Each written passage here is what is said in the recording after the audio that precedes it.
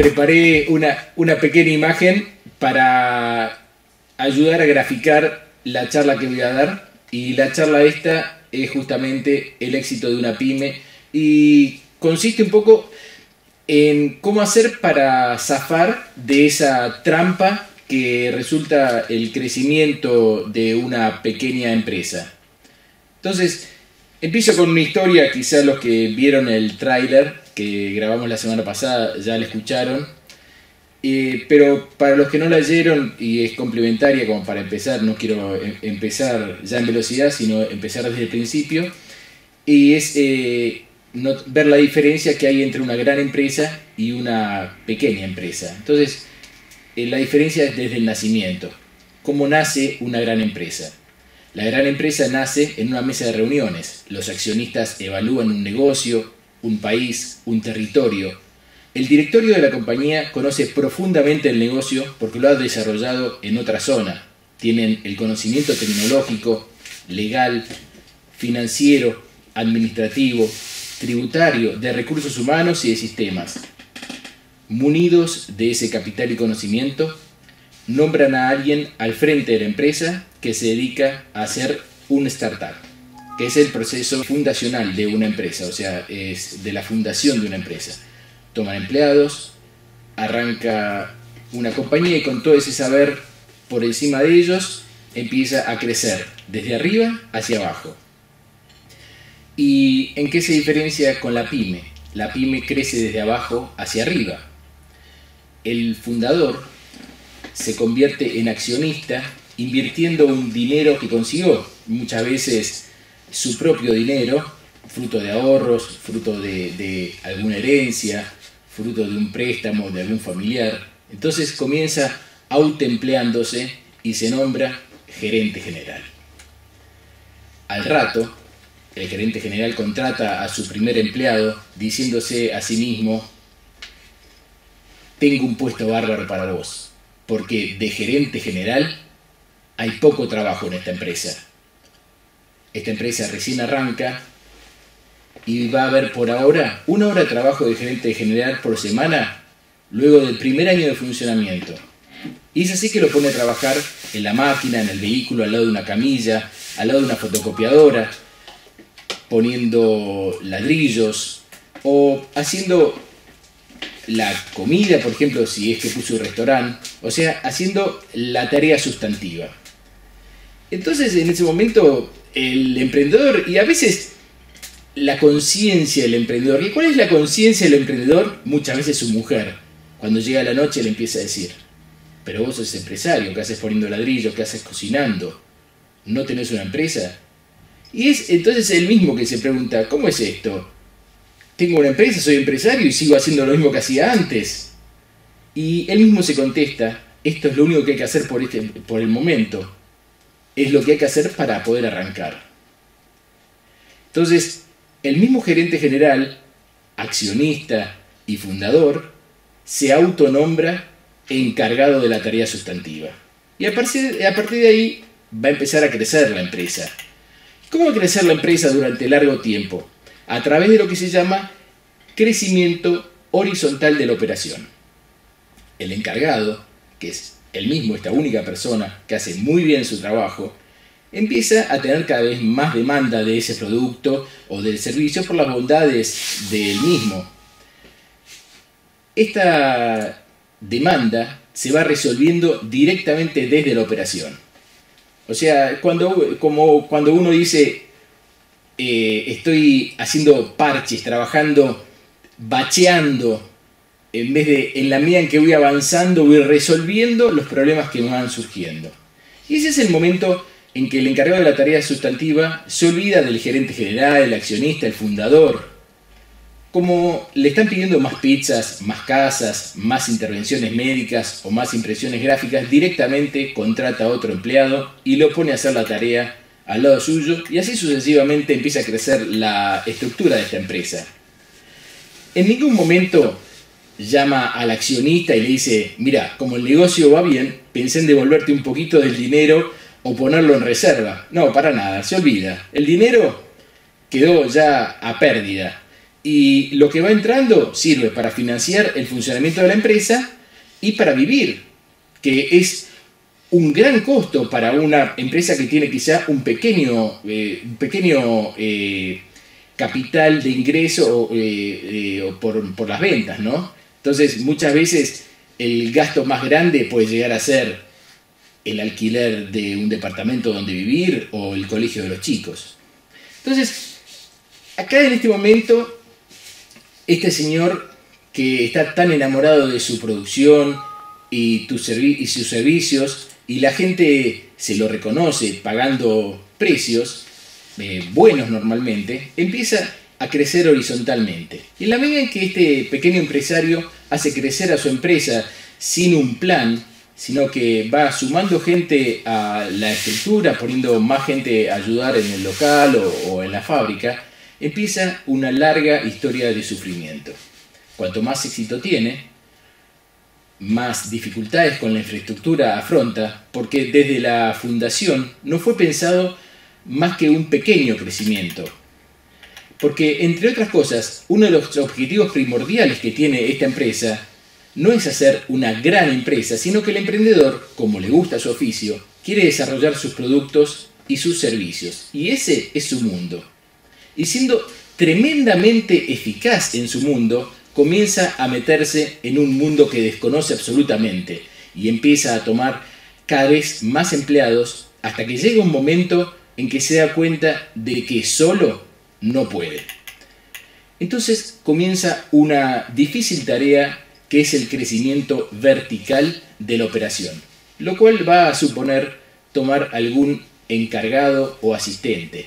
Si es eh, un, un restaurante, por ejemplo, y el restaurante anda bien, o si la fábrica anda bien, pone a alguien al frente, generalmente alguien de confianza. Ahí comienza el duro proceso de armar una organización que significa dejar la estructura actual de dos niveles en que estaba él en el medio repartiendo trabajo o empujando a su gente o traccionándola como una locomotora para pasar a tener encargados, gente intermedia, o sea que el emprendedor abandona su puesto de encargado en donde era tremendamente eficaz, como habíamos dicho, en que estaba en su mundo, en su salsa, como se dice en Argentina, y comienza allí a, colocar personas en el medio. Coloca allí una o varias personas que van a tratar de hacer lo que él hacía. El emprendedor se aleja de sus productos y de sus empleados para dedicarse a la tarea de gerente general a tiempo completo. Y ahí es en ese momento en que pasamos de una estructura de dos niveles en que estaba él y todos los demás a una estructura de tres niveles, donde hay un encargado que de alguna manera empieza a distanciar, a poner una distancia entre el emprendedor y el producto o el servicio. Si bien al principio el emprendedor sigue verificando eh, cada, la calidad de los productos, la calidad de los insumos que ingresan, el pago, tiene contacto con los clientes y demás, con el tiempo cada vez más queda en su oficina y se empieza a alejar y va perdiendo ese contacto del día a día. Este proceso de dejar de tener contacto con el día a día es durísimo para el emprendedor. Es parecido a como cuando un padre tiene un hijo que se va de la casa. Y esto que se dice tan fácil en una reunión de amigos o en una charla con un consultor, que te dicen, ¿para qué te estás enloqueciendo? Delegar. Delegar para alguien que llegó, como le estamos describiendo, es como si un joven de 20 años que está en segundo año de la Facultad de Medicina le dijeran que haga una operación a corazón abierto y simultáneamente una de cerebro. Es algo que va a poder hacer bien, pero cuando tenga 40 años. Delegar es una operación que implica un cambio dentro de la forma de pensar, un cambio dentro del cerebro de la persona que lo está intentando. Delegar es un proceso que, acompañado con buenos contadores, con gente experta en documentación de sistemas y además transformando la organización para adaptarla al nuevo escenario, lleva al menos 5 años. Esto es así porque requiere transformaciones biológicas, culturales y psicológicas. Pero simultáneamente a este problema de la delegación está la pérdida de la rentabilidad. Y acá es que les quiero explicar el gráfico que hice. Eh, acá hice un gráfico en que tenemos las ganancias, que es hacia arriba, cuanto más alto, más estamos ganando, y las ventas hacia la derecha. Ojo, no confundamos ganancias con facturación, porque hay empresas, como se ha dado en los últimos años, inclusive eh, se había dado previamente en los años 80, lo doy como un ejemplo muy conocido de General Motors o Ford en manos de las empresas japonesas al principio y después de la crisis mundial, que quizás facturaban 500 millones de dólares y perdían 200 por año. Entonces, eh, eso, esto no es la facturación, sino la ganancia. Entonces, ¿qué pasa? Normalmente en la primera etapa en que el emprendedor está solo en la empresa tiene, tiene un ascenso lineal. Cuanto más vende, más gana. El, el hombre sabe que en la medida en que va aumentando el volumen, va pudiendo comprar insumos más baratos, quizá el flete en vez de repartir un producto cada vez que sale reparte tres, entonces cuanto más gana, cuanto más vende, más gana. Después empieza a colocar ayudantes, auxiliares, empieza a delegar algunas tareas y ya nota como que esa ganancia empieza a ser menor. Si bien cada vez que vende más va ganando más, eh, la ganancia empieza a ser menor. Y aquí es el punto de inflexión en donde empezamos la, la gran lucha por subsistir y empezamos a notar esta línea roja que es la pérdida de rentabilidad hasta que llega un momento en que podemos llegar a estar pagando para trabajar, o tomamos el otro camino, que es la línea verde, que es la que nos permite mantener la rentabilidad y tener una ganancia que quizás no va a ser proporcionalmente tan grande como cuando trabajaba él solo, pero sí va a tener una ganancia extra por cada venta extra que haga. Entonces, eh, Hay, hay tres factores que son los que nos llevan a esta pérdida de rentabilidad a la línea roja. Y son la baja de precios, el aumento de los costos y la baja de la calidad. Vamos a ver estos tres problemas y cómo, después vamos a ver cómo podemos resolverlos. ¿Por qué baja el precio? Muchas veces para alcanzar mayores volúmenes de venta, con las mismas acciones de marketing que veníamos desarrollando, es necesario bajar los precios para vender más volumen. Y también para vender más volumen, por esa ansia de crecimiento, de que muchas veces el mismo emprendedor eh, ve como un éxito, estoy vendiendo, dupliqué la venta, estoy vendiendo más, estoy vendiendo más productos, más servicios, y entonces empieza a meter intermediarios en la cadena de distribución distribuidores, representantes, eh, vendedores externos. Entonces quizá de pronto alcanza a cubrir un territorio muchísimo más grande, pero no se da cuenta que está vendiendo casi al costo. Entonces, eh, la, baja, la baja de precios más el aumento de costos es una de las grandes, eh, los grandes ladrones de la rentabilidad. ¿Por qué suben los costos? Veamos por qué suben los costos. Por alquileres, Muchas veces para crecer se requiere alquilar un local, un depósito, necesitamos más lugar para tener una producción mayor, ya no alcanza con la planta baja de la casa en donde vivíamos o el garage o el local que conseguíamos muy barato de alguien conocido con el que empezamos. Hay que alquilar algo más grande. Los sueldos. Los empleados cobran sueldo, por supuesto, y hay muchos que en esta nueva estructura multinivel no están abocados directamente a la producción los préstamos. A veces para forzar el crecimiento, el emprendedor se ve, se ve en la necesidad de conseguir más dinero, porque quizá para producir más necesita nueva tecnología o licencias o necesita comprar más, más material para acceder a, precios eh, especiales o a productos o, a material que se hace especialmente sobre pedido. Entonces empieza a adquirir deudas y muchas veces estas deudas se convierten en un ancla terrible porque a veces se financian inversiones que no llegan a amortizarse, como por ejemplo matrices para productos que se supone que van a ser revolucionarios y no se hizo un estudio de mercado de que quizá ese producto iba a tener un ciclo de vida muy corto, entonces por más que el producto haya andado bien, en el tiempo no llega a amortizarse la matriz. ¿Qué más? Eh, una baja de productividad. ¿Por qué? Porque los empleados de la manufactura muchas veces no poseen la misma habilidad del dueño. O sea, el dueño es un tipo que llegó a ese lugar porque era de los mejores haciendo cierta tarea. Muchas veces una tarea manual. ¿Qué pasa? Cuando este señor que tenía un restaurante y el restaurante se llenaba, deja de cocinar para ponerse en la caja o inclusive pone un cajero y está todo el día corriendo de un lado a otro, bancos, contador, trámites, etc., deja de hacer lo que sabía hacer, que era cocinar.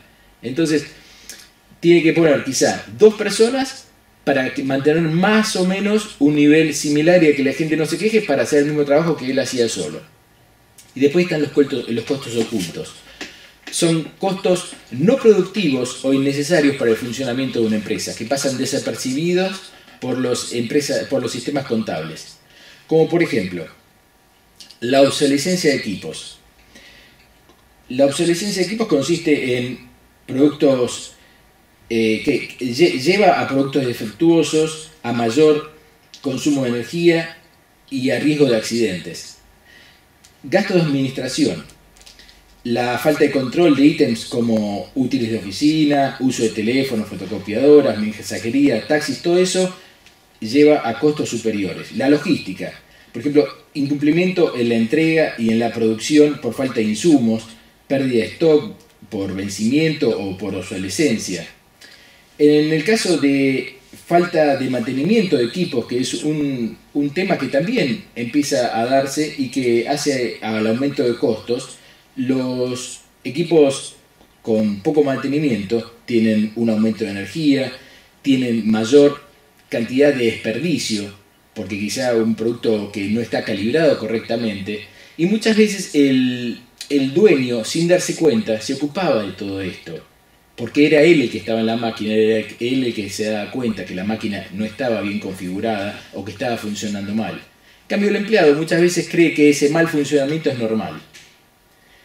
La mala selección o alta rotación de personal, eso es, terrible por, un tema de costos de entrenamiento y también costos de, de juicios, ¿no? que no solo eh, lleva a un gasto económico, sino que también le, le insume mucho tiempo y realmente muy mala, mucha mala sangre muchos malos ratos, muchas noches de, mal dormir al emprendedor que tendría que estar dedicado al crecimiento de su empresa. La no calidad, que la no calidad es cuando los productos empiezan a tener mala calidad, empiezan a ser devueltos y todas esas devoluciones son pérdidas, que muchas veces uno no las pone en el costo. Cuando uno hace el costo de un producto, dice, bueno, el costo del producto es la suma de, de sus partes más un monto que son los costos fijos y después empezamos a encontrarnos con todas estas sorpresas. O por ejemplo, la pérdida de oportunidades por no cumplimiento, por pérdida de clientes, por mala calidad. Y también el caso que yo lo conozco muy bien, el aumento de desperdicios.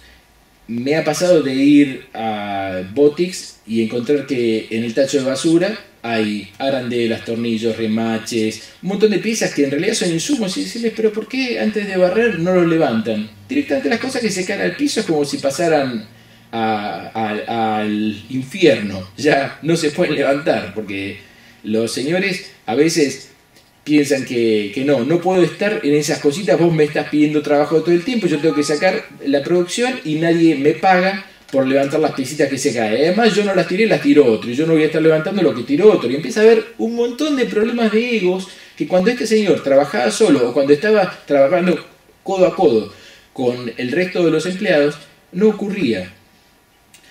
Y después el aumento de los insumos, porque no se administran adecuadamente los insumos, como la cinta de embalar, cartucho de tinta, elementos de limpieza. Eh, el tema de la logística también eh, pasa, que ya lo habíamos nombrado, pero muchas veces se planifican mal las entregas. Y todo eso hace un aumento de costo que realmente hay que controlar. Y ya vamos a explicar cómo se va a controlar. A ver, ¿por qué baja la calidad? Todos estos temas se dan cuenta que están muy de la mano uno con otro, ¿no? La calidad baja porque la mano de obra no especializada y eh, no, o sea, al tener una necesidad de contratar un personal para que realice la tarea sustantiva, normalmente se contrata gente que no es lo suficientemente buena para trabajar por su cuenta o que no tiene experiencia previa en la tarea a realizar por lo cual la calidad indefectiblemente baja. La falta de pasión por parte, de los empleados. Normalmente el empleado tiene la idea de que la vida comienza cuando sale del trabajo. El trabajo es como un castigo y como, y como tal no lo hacen apasionadamente. La falta de control de calidad, tanto en los insumos como en los procesos, como de producto terminado. Todo lo que hablamos arriba, ¿no? La falta de trato con los proveedores, esto hace que los proveedores bajen el nivel, porque cuando el empleado que recibe la mercadería no sabe quién es el responsable de, la calidad, no sabe qué tipo de pedido se hizo y qué características de material, la persona trata de producir con lo que le llega, sin muchas veces comunicar, porque hay problemas de comunicación sin comunicar los inconvenientes que están habiendo, el tiempo que se está perdiendo y sin hacer el reclamo correspondiente a los proveedores. Esto hace que los proveedores piensen que el producto que están entregando es suficientemente bueno para nosotros. Y entonces no se esfuerzan por entregar un producto de la calidad que realmente se necesita para tener una alta rentabilidad. Bueno, vamos a ver cómo se resuelve esto. Lo primero que hay que hacer es aumentar el precio. Entonces, si nosotros lo que queremos es aumentar la rentabilidad que lo que realmente necesitamos para poder mantener una estructura más grande y poder distanciarnos, delegar todo lo que hablamos, hay que aumentar el precio. Y para poder cobrar más hay que diferenciarse. Y hay que saber comunicar la diferenciación. Al diferenciar nuestro producto del de la competencia, accedemos a un mercado de personas que pagarán más para conseguir ciertas características que no encuentran en otro producto. Muchas veces deberemos innovar para diferenciarnos, hacer pequeños lotes de productos mínimos viables, lanzarlos en pequeños mercados limitados por geografía, puede ser un pueblo o un grupo social, un club, una asociación, estudiar la respuesta y hacer variaciones, validándolas nuevamente hasta alcanzar un producto viable de ser vendido masivamente. A veces deberemos desarrollar variables de un mismo producto para acceder a diferentes nichos y poder cobrar más sin bajar el volumen. Diferentes perfumes, colores, texturas, medidas, formas, gráficas, pesos, materiales, olores, hay tantas cosas, temperaturas, sonidos, garantías, formas de pago, formas de envío, de instalación, funcionamiento, todas estas características son intrínsecas al producto. Y la otra forma de diferenciación es la marca. La marca es un elemento que resume gran cantidad de atributos no palpables, pero muy importantes para, para el consumidor como prestigio, pertenencia, identificación, valores, respaldo, confiabilidad. Imaginemos que un señor que está a mil kilómetros de distancia decide comprar un producto por internet y recibirlo en su casa.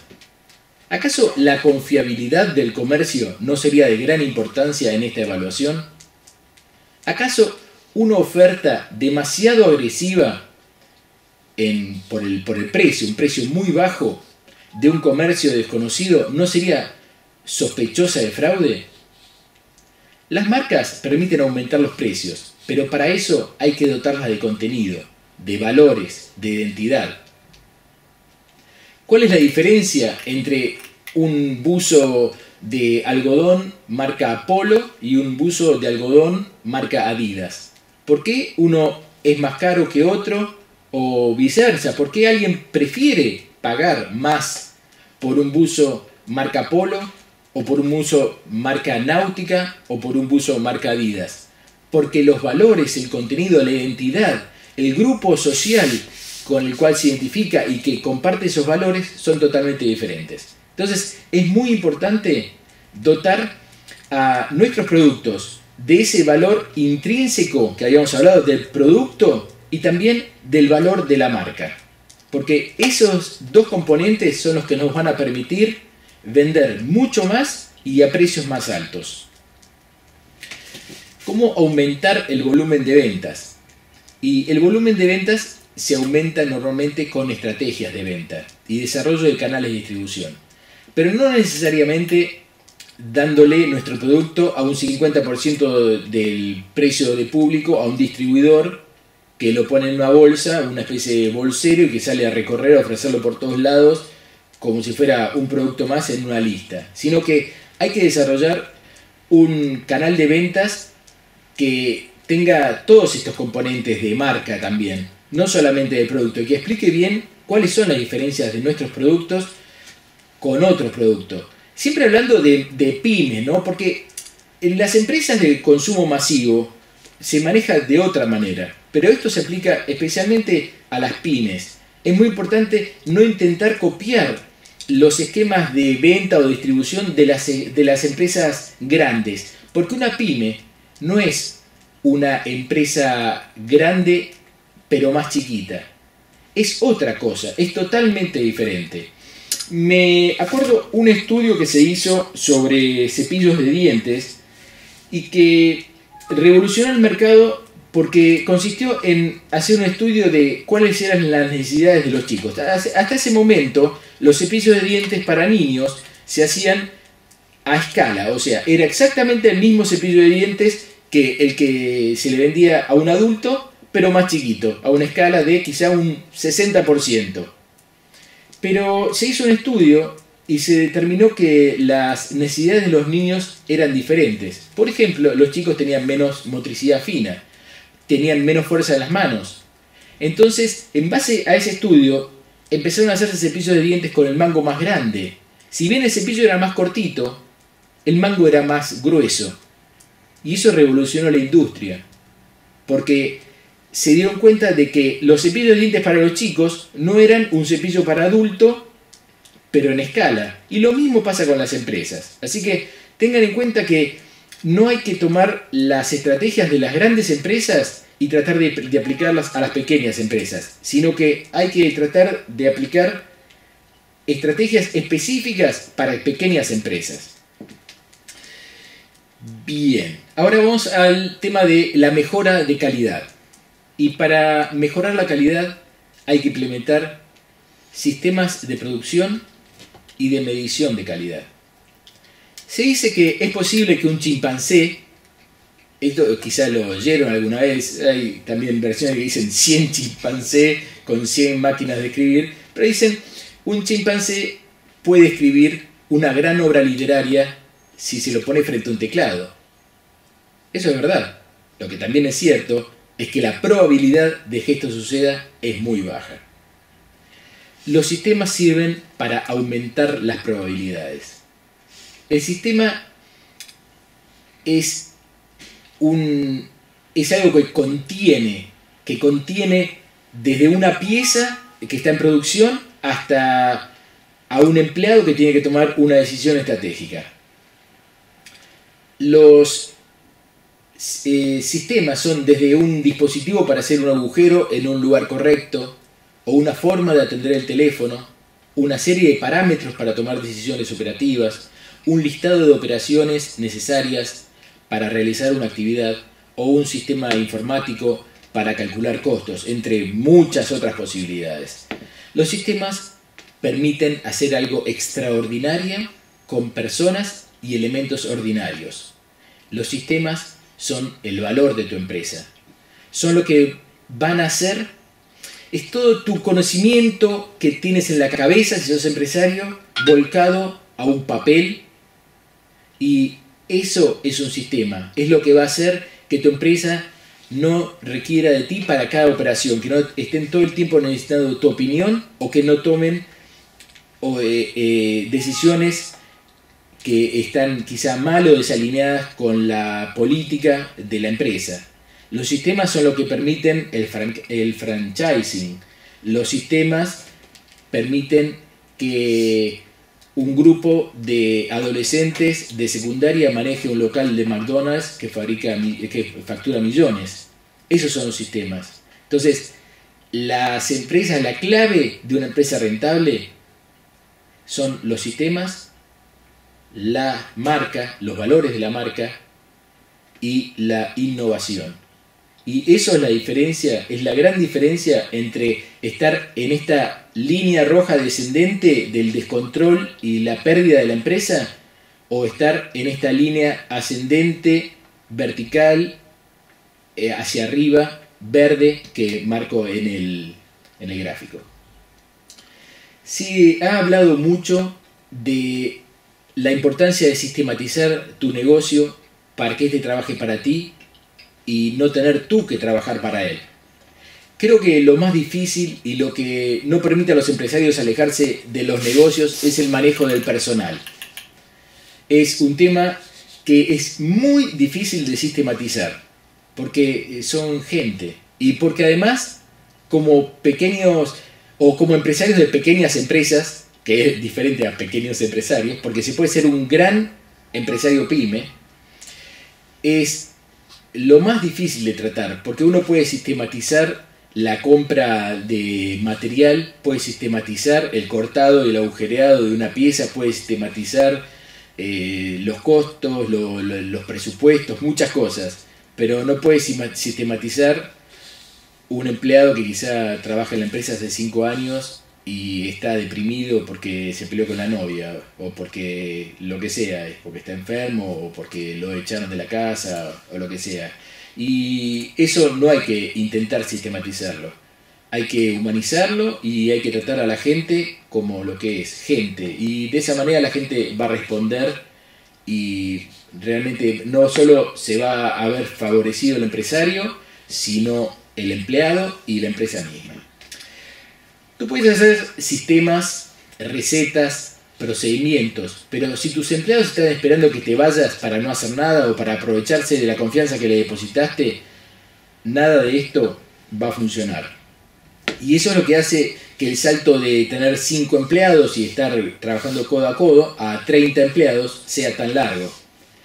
Es que tú necesitas muchos cuadros intermedios que tienen tareas de control totalmente improductivas. Y para poder pagar todas esas tareas improductivas necesitas aumentar la rentabilidad. Pero los procedimientos sin control no sirven para nada. Y es por eso que si los márgenes no son muy altos, cuesta crecer, cuesta hacer crecer la empresa más allá de cierta medida. Que es lo que hablábamos en un principio, ¿no? Esa empresa que estuvo programada como muchas veces una salida laboral, como, bueno, pongo un bar, pongo una carpintería, pongo un kiosco, y no puede crecer más allá de cierta medida. ¿Por qué? Porque le faltan eh, sistemas, porque le falta gestión, por un montón de cosas. Entonces, eh, para que los sistemas de tu empresa funcionen, tenés que establecer mediciones, tenés que hacer controles para que esa calidad que tú quieres lograr sea siempre consistente. Muchas empresas sortearon este obstáculo concentrándose en el core business o el corazón o la clave del negocio y tercerizando el resto de las tareas. Pero de todas maneras, tanto los controles como la tercerización se llevan parte de tus ganancias. Si tu empresa no tiene una buena rentabilidad, estos sistemas, estas posibilidades no son sostenibles en el tiempo. Es por eso que tienes que evitar que tu empresa compita en un mercado muy competitivo donde hay competidores informales y hay algunos, y hay algunos elementos que te van a permitir evitar estar chapoteando en el barro por unas migajas que nunca te permitirán crecer. Y estos elementos, y ya lo dejo como, como cierre, Edgardo, son la innovación. La innovación te protege por un tiempo si no es factible de proteger con patentes. Entonces tu empresa debe tener la innovación en su cultura empresarial para que tu competencia nunca te alcance. El marketing. El marketing de tu empresa, tus marcas, el posicionamiento natural de tus sitios de internet en los buscadores es fundamental para mejorar la percepción de los potenciales compradores y clientes. Estos atributos que tiene tu marca deben coincidir con la experiencia del consumidor para lograr la satisfacción y convertir a los clientes en evangelizadores de nuestra empresa. La inversión.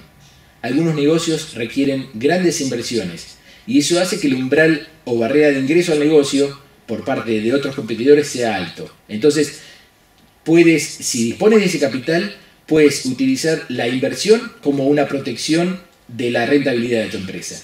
La tecnología. Poseer una tecnología propia, secreta, difícil de adquirir, te protege de tu competencia. Permisos y licencias. No todos podemos entrar en el negocio de la energía nuclear, aun cuando poseamos el capital existente, porque justamente para acceder a algunas, algunas industrias o algunos negocios se necesita una licencia. Hasta inclusive para ingresar al negocio de los taxis necesitas una licencia, por lo menos en Argentina está limitado. En Nueva York está limitado el negocio de la música en los subterráneos. Necesitas una licencia y para eso tienes que pasar un, test del municipio. Si no sos suficientemente bueno, no podés. Entonces, esa limitación de alguna manera hace que tu rentabilidad sea más alta. Patentes. Las patentes de invención y de modelo industrial también limitan a tus competidores y te permiten desarrollar tu actividad más cómodamente. Y para cerrar, siempre recuerda un principio de la oferta y la demanda. Cuando hay poca oferta de algo, o sea, se ofrecen pocas unidades de algo, se puede aumentar el precio y mejorar la ganancia. Eh, quedo, Edgardo, a a tu criterio, si hay preguntas, si hay alguna pregunta que vos me quieras hacer o del panel, lo que quieras.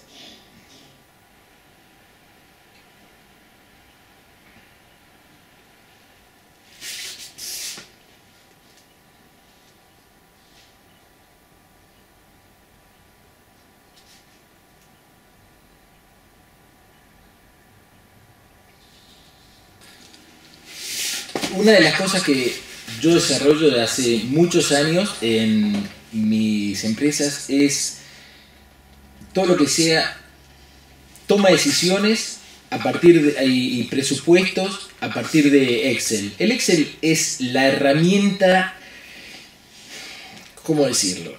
Para, para un empresario pyme, el, el Outlook o el programa que sea el mail si tienen, si tienen Mac para enviar correos electrónicos. Y el Excel son herramientas fundamentales. Muchas veces una pyme necesita un sistema y los sistemas están hechos para grandes empresas.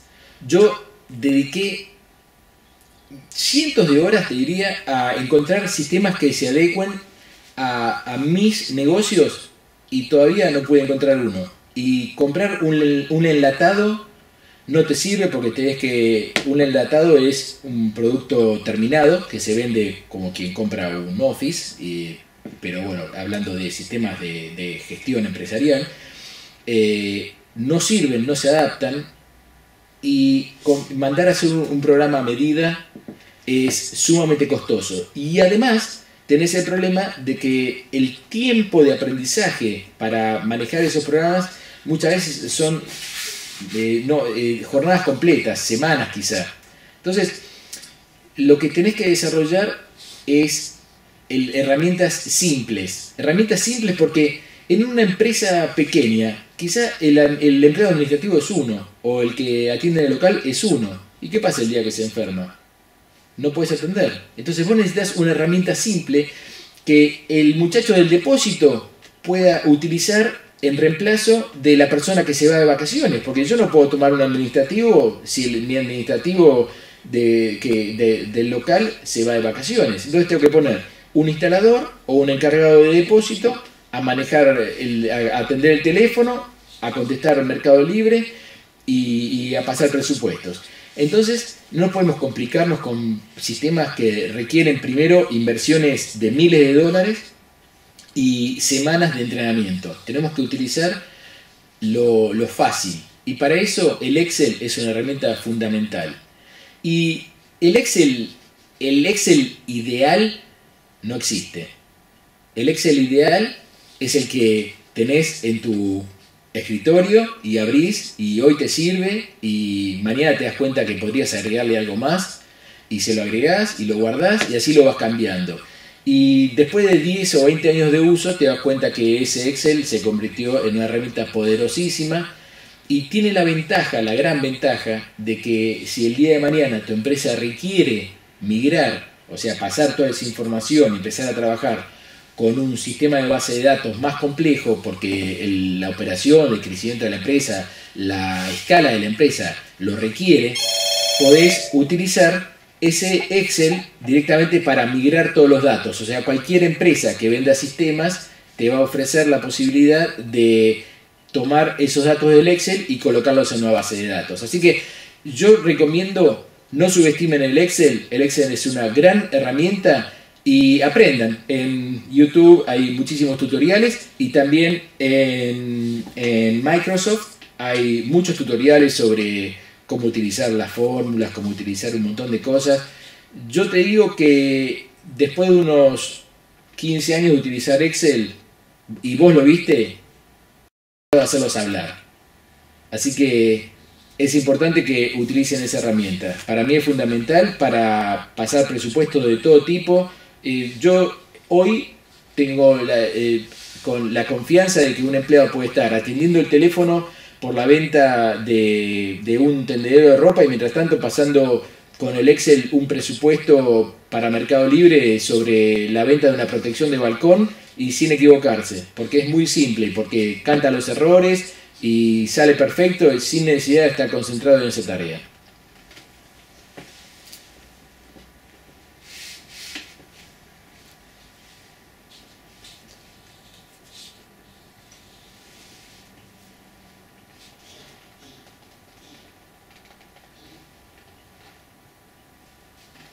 El sistema que tengo está formado no solo por videos, sino por todo tipo de información, eh, además de los, de los sitios que tengo de cada división de Grupo Botix, tenemos otros micrositios en Blogger, en WordPress, en, en distintos blogs de diarios y inclusive en Taringa, en, o sea, yo soy un gran generador de contenidos, tengo eh, como 8 o 9 Facebook.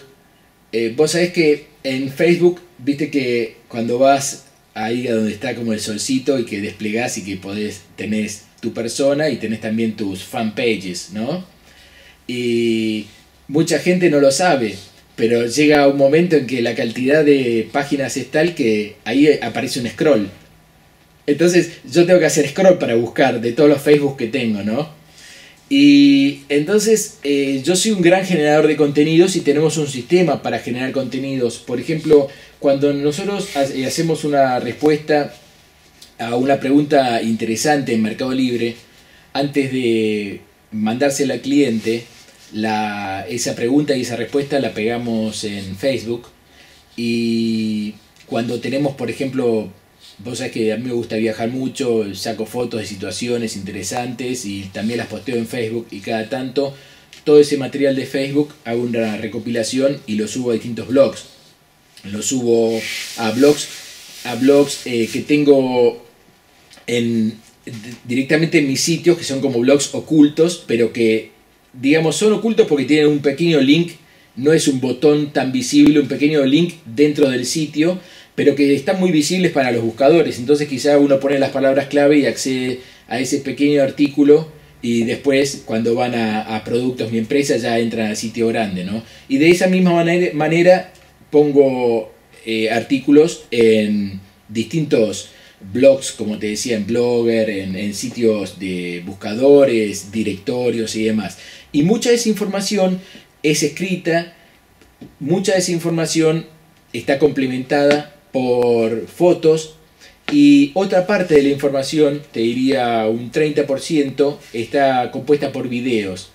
Yo soy de grabar un video desde el, o sea, a través del celular o a través de la cámara de fotos no, no es impedimento quizá estar en la calle y no tener, no tener la filmadora a mano para no hacer un video, sino que lo hago, lo subo y toda esa información que está en internet son como las raíces de un gran árbol.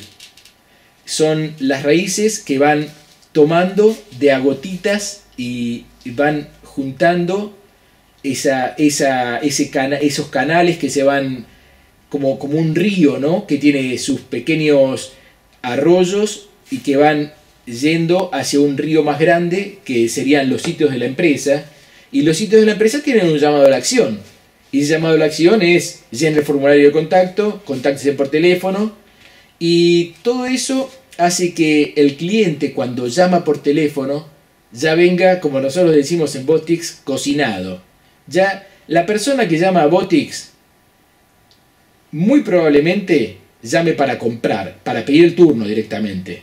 Algunos tendrán alguna duda con la medida, querrán corroborar el precio, pero hay gente que o viene recomendada por conocidos, que eso es una red invaluable de, excelentes clientes que están dispuestos a comprar y, que, eh, porque vienen referidos y gente conocida, gente amiga, ha transmitido esa confianza hacia nuestra empresa y ha depositado esa confianza en nuestra empresa.